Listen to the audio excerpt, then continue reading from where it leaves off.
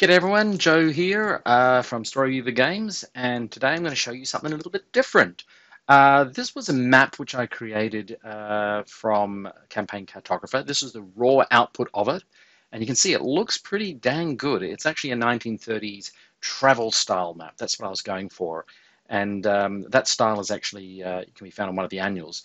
Anyway, the map is really nice, but I wanted it to look um, like it had been found in the 1930s, you know, like it had been in an explorer's pocket. So in other words, I want to do some post work on this very good quality output to make it look a little bit more worn and real. Uh, I, I, personally think that when you're handing maps out of the table, if you've got the time, try and make them look not just like the map of the era, but like the map of the era as it would have been used. So what I'm going to do today is show you uh, one of the techniques and one of the tools that I use um, to achieve that effect. So there's our there's our starting uh, output of the map, and that was just literally saved off Campaign Cartographer as a, uh, PNG file.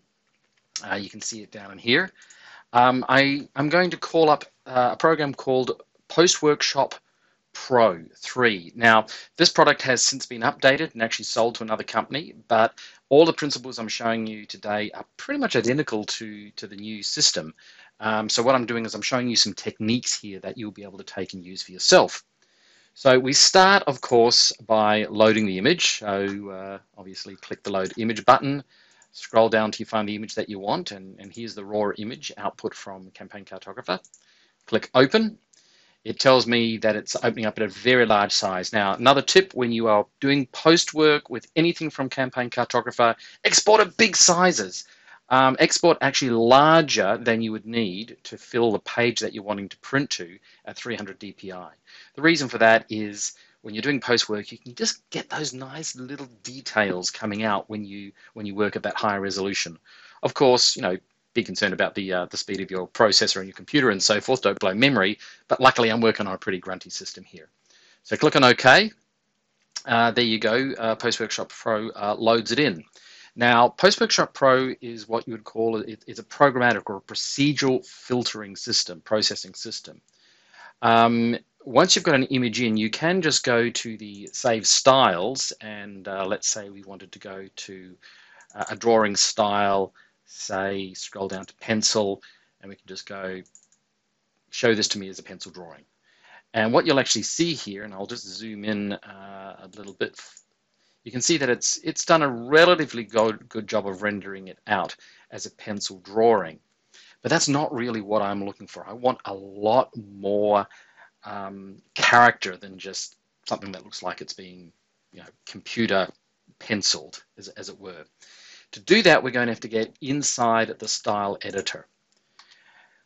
So uh, let me just uh, remove all of these little connections here. In the style editor, you actually wire up different effects. Um, what we'll start with, and, and I've actually already done this for one of them, so I'm going to go back to my styles. I'm going to call up one of my user styles that I just saved recently. 1930s, there it is, and I'm going to um, pack that. There we go. So here's my filter which I had previously prepared and I'm going to walk you through it. The first thing that we need to do is sort of expand it so we can see what we're doing, what we're dealing with. Each one of these boxes is a programmatic filter. It does something. And you can see that they're wired up with these little connections. Now, here is the source image. This is what we're really wanting to deal with. If we if we open up this tab here to show us the particular whatever element we've got clicked on, it will show us how it's going to be rendered. Um, so I'm clicking on the source image. I'm going to click on this little button here, and I'm going to wire it up to the comics um, filter. So you can see the comics filter here gives us uh, a relatively interesting effect over here. I'm just going to uh, reduce the size of that slightly. It, it literally makes this sort of, oh, how would I put it? Basically what it does is it goes through every single black area or every single dark area and it creates a vector around that and then inks that in for us. So it gives us a, an inking effect which looks a lot like the type of lino presses which they would have had in the 30s. So it's this, this printed page, but it's too much. It's actually too grunged up for us. And it's also very grey. So then what I've done is I've created a threshold filter. And the threshold filter takes two, uh, basically looks at an image, uh, determines the number of colors through this flag here, the uh, in this case two, and then you can set a threshold value. So you can see as I reduce that threshold value, my map gains or loses features. So I had it set, I think about there, it was fairly thick.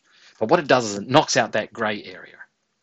Now, this line here, as you can see now, collects down to a blend space, but we'll, we'll get to the blend space in a, in a, in a moment.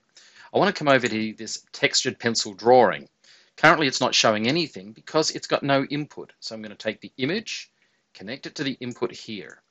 And now that gives us a pencil drawing, a, a detailed textured pencil drawing, which is which is quite nice. You know, if you if you zoom in on it, you can see it's it's done a pretty good job. But if we were to mix that with the printing look and that, if we were to mix these together, we would get something that looks a little bit more like it's genuinely been printed in the 1920s, 1930s. That is what the blend function does. So you can see comic input, inputs to threshold, threshold comes to the top of our blend space. Image goes into the textured pencil style, which goes in the bottom of our blend space. And that's what it gives us here. It gives us now a map which has an appropriate level of detail, um, but it's it's still you know so it's readable, but it still looks like it's been manufactured.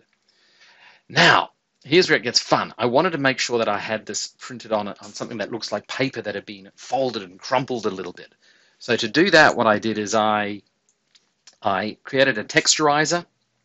I um,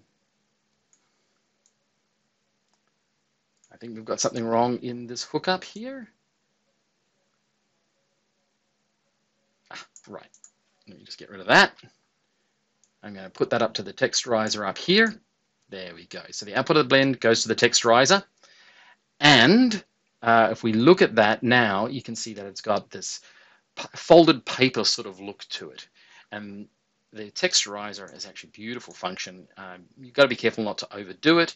I've chosen a particular style of paper, but there are many other different sorts of options within paper to choose from. For example, if I went to, say, a crumpled piece of paper,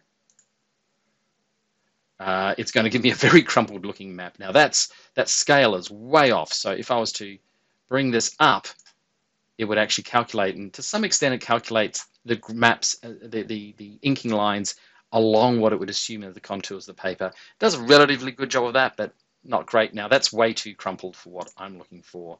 So I'm just going to go back to the, uh, the previous paper that I, I had before. I think that was paper number four. There we go. Lovely. And I'm going to uh, bring that scale back down again because I quite like those folded lines across it. I thought they looked good. And finally, the output of that goes to our layer, goes to our final output layer. So now if we were to come back to the compositing menu, you actually see now we've got this map printed at, uh, you know, it's starting to look really, really lovely but there's no color in it.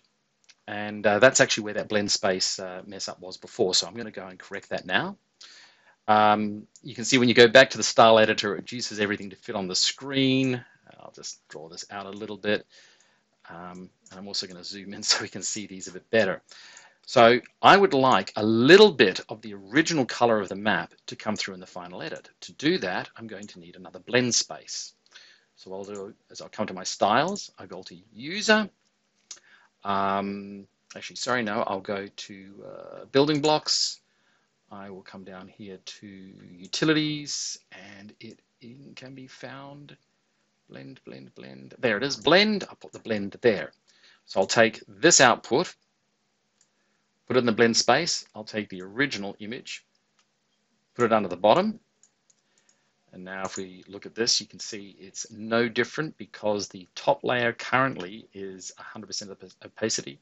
But if I just reduce that slightly, ever so slightly, not too much because I don't want everything coming through, just a little hint of the color, there you go. We now have our map looking slightly colored, um, like it's been produced on a, on a pretty dodgy ink printer and it's all ready to rock and roll. Last thing I'm going to do is I'm going to click on save. I'm going to save this off. I'm going to call it uh, J-Coast Map 1930s. There we go. This is perfect for a pulp, uh, a pulp action game. And of course, the very last thing that you would do is you would uh, you'd actually render out this this image in its entirety. So let's just do that now.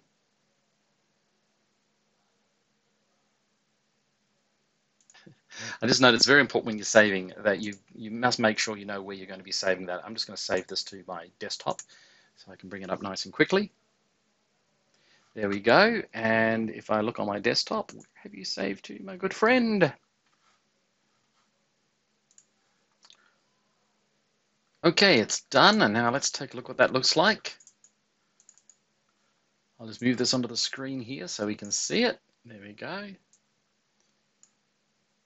Now, you can see that the uh, the quality of it is is much higher than what was uh, showing on the screen, which is is fine. But you can see now, if we zoom on in and look at that detail, it's got this lovely um, hand-drawn or, or, sorry, uh, lovely inked sort of imagery. So you can see it's been a hand-drawn map, which has then been printed uh, on, a, on an ink. You've got these lovely little hair-raising pieces here. It's incredibly detailed what uh, what this program can do for you it gives you a real sense of something that is printed in the time that it was made.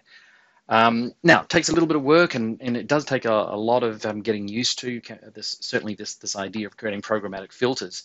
But remember, you create one filter, you can save it off, and you can use it on a whole slew of your maps.